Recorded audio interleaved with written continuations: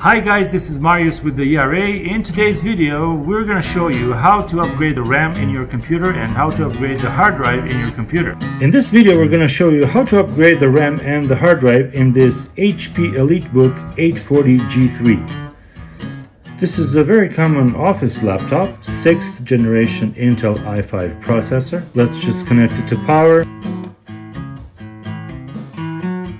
Turn it on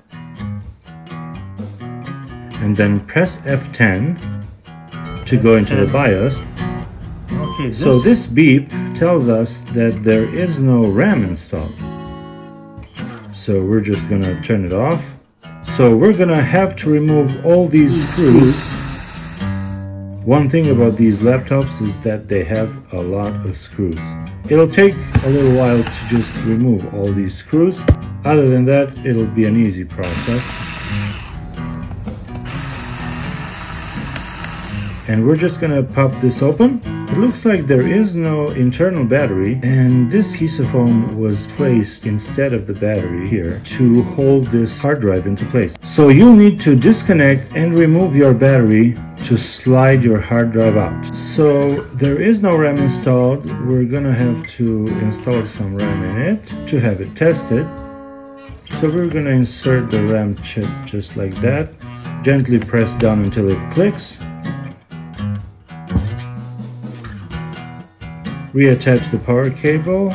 We're just going to make sure it works with the RAM that we put in there before we do anything else.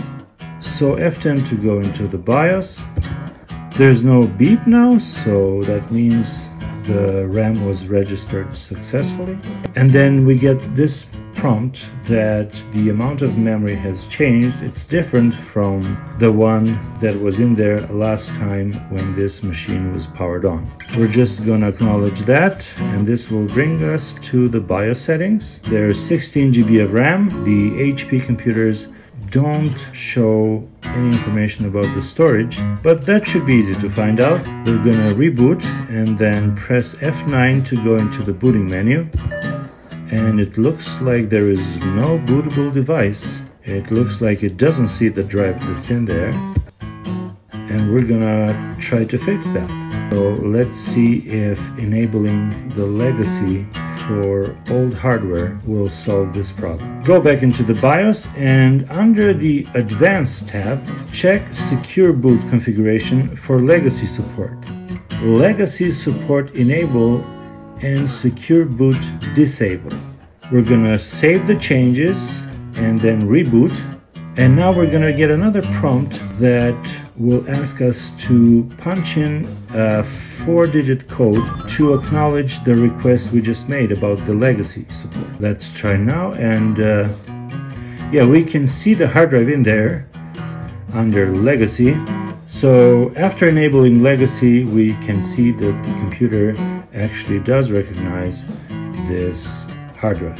So now what we're going to do is replace this hard drive with an SSD drive. There used to be a caddy here, we don't have it. The hard drive was held by this piece of foam. So we're going to take out this hard drive and we're going to replace it with this 250 GB solid state drive. It's the same size, it connects the same way.